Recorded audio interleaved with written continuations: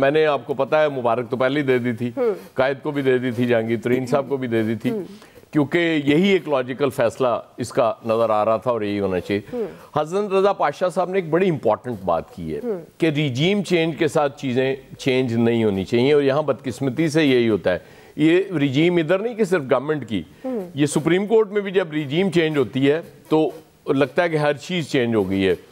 इफ्तार चौधरी साहब जब chief justice हुआ करते थे तो उस वक्त लगता था कि जी वो क्या कमाल चीफ जस्टिस हैं। फिर हमने देखा कि वो बढ़कें ज़्यादा थी उसमें और वो बढ़कें नुकसान हमारा ज़्यादा कर गई। उसके बाद भी जो चीफ जस्टिस आते रहे, यही।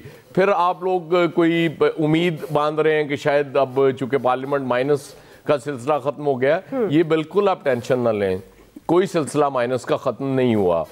जब जब ज़रूरत पड़ेगी माइनस करने की वो होता रहेगा उसके साथ साथ। अभी तो ये पाँच साल की भी तय होना बाकी है ना, कि ये पाँच साल की भी ठीक है, या वन टाइम कर दें, एक बंदा नहल हुआ है, उसके बाद कोई जिमनी इलेक्शन है, वो दोबारा हिस्सा ले ले। अगर आपने ट्रू डेमोक्रेसी की तरफ़ जाना है, कि आवाम के राइट ऑफ़ वोट जो है, उससे फैसले करने हैं तो फिर तो आपको ये करना पड़ेगा ना, इससे आगे जाना पड़ेगा। यहाँ आपको नहीं रुकना पड़ेगा। फिर आप लोग कुछ उम्मीद लगा रहे हैं कि जी अब जो नई पार्लियामेंट आए वो आम आदमी के लिए कुछ करे। क्यों करे आम आदमी के लिए? क्यों कानून साजी करे? हम मुझे ये बताएँ कि कितने प्रोग्राम्स हमने बैठ के उसमें ये हवाला दे रहे होते हैं कि जी फलां पार्लियामेंट ने फलां कानून साजी बड़ी अच्छी की। हम्म, हम्म। क्या ये ज़बरदस्त कानून उन्होंने बना दिया था?